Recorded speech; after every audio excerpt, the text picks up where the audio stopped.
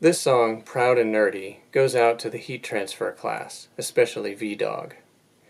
Your rims never spin, to the contrary, we'll find that they're quite stationary. Stephen Hawking's in your library.